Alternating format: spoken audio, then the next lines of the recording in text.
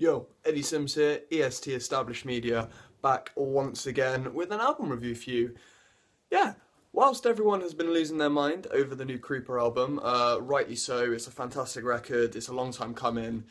I have been quietly enjoying the new Brutality Will Prevail record in Dark Places. Now, Brutality Will Prevail are a hardcore band from Wales, but they're quite different from your average hardcore outfit.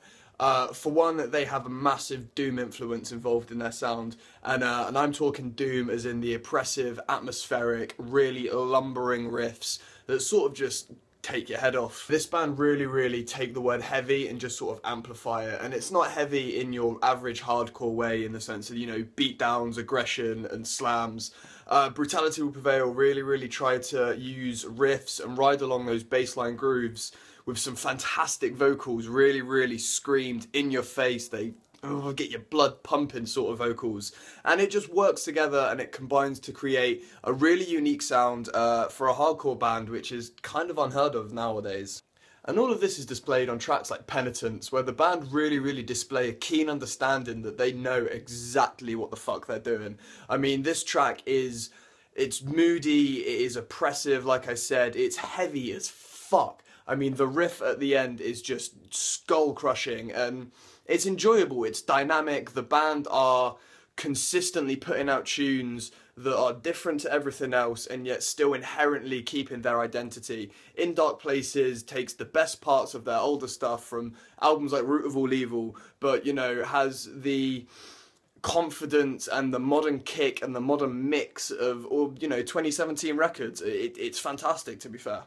So yeah, the album opens up with a track called Serpents, and it kicks off with this rumbling bass line and then these huge sustained chords held over the top right before it just drops into this really, really pleasant riff actually. I say pleasant, it's just a good riff to start it all off. It really sets the tone, lets you know that this is going to be a moody, atmospheric, and really dark album to be fair. I mean, it is called In Dark Places, so pun not intended. But this is a doomy record, uh, and the band definitely are not afraid to step outside of the box even more, with tracks like Nebus and Into the Gloom showing that, you know, they want to they want to display that they can be more than just your average hardcore band. You know, these tracks are ambient, these tracks are, you know, they have clean vocals, they have clean guitar tones that juxtapose everything that you've already heard done fantastically well in the album.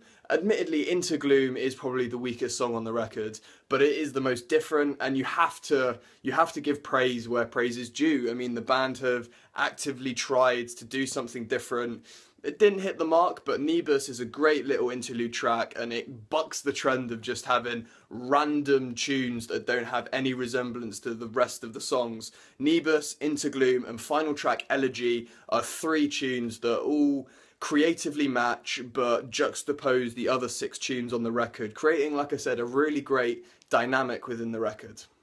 Other highlights include second track Perpetual Lows and the first single Forever Restless, which is still an utterly punishing tune that will probably make you want to put your fist through the wall. So make sure you have a plaster up on speed dial because yeah, you're going to want to get your office wall replaced.